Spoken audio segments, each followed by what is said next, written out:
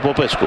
FCSB încearcă acolo un 2 contra 1, dar Tavi Popescu are altă idee și are o idee genială. Și fază, nu avea voie să lase mingea să cadă. Contraatacul, foarte bună pasa, Dumiter mai departe și este gol! Superbă reușit!